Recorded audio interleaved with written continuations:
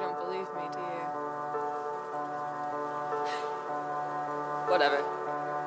Take it or leave it. I'm done with life. It's overrated. But what else is there? Death? I mean, my entire life I thought it was necessary. It was just something I had to do. But it makes people unhappy. necessary evil.